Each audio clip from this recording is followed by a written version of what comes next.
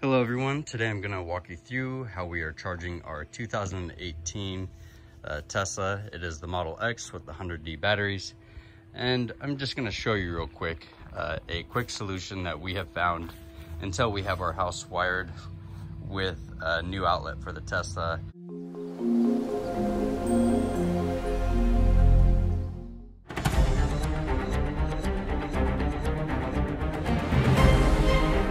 We have, in addition to our Tesla charging cable, is we have a 25 foot cable that is rated for 50 amps.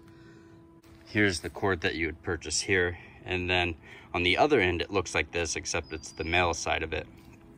And you can purchase a bunch of accessory adapters from Tesla. It comes in a big pack and it has the, like 10 different connections that you can that can be made but this here is a 50 amp connection. Um, this actually will regulate the amperage when you use your adapter piece. So we're going to keep it 50 amps and we're going to go from this into the house but inside the house we have an older three prong outlet which I'll show you here in a couple minutes. And it is also a 50 amp so when you're plugging into a 50 amp outlet, you can expect to get about 32 amps of charge, which will put you at about eight kilowatts an hour. And I can show you that inside the vehicle here, here as well once I plug it all back in. So I just plugged the cable in and it's starting to charge. We're at 50% and it shows that it'll be seven hours and 20 minutes before we're at a full charge.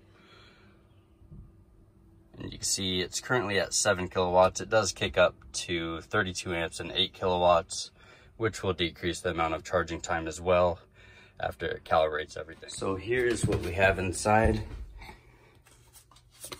And I will unplug those and show you.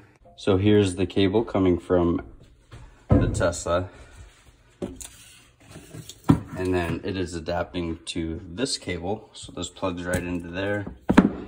And then we have a three, three prong cable here. This is a 50 amp uh, plug. This here was the most difficult part to find. I did have to order this online. No stores had it. You can go into your local store, uh, Home Depot or Lowe's and actually purchase both ends, this end and this piece here as well, and a piece of cable and adapt them. But this seemed a bit safer, so this is the route we went. And then it just plugs right into the wall there. So eventually we will have a actual hookup outside for the vehicle that will not involve these adapter pieces. A long time to figure out something that was gonna work and be sufficient for us. So just wanted to share with you guys exactly what's working and we've had great success with it so that if anyone else is in the same position that you'll be able to get a charge and not run into issues. So you can see here, we've been pulling this trailer. It is about a two hour drive um, and we're still at 49% on this with a loaded trailer full of tools and flooring and stuff. There you have it. I hope this has been helpful. Please feel free to like and subscribe for future videos.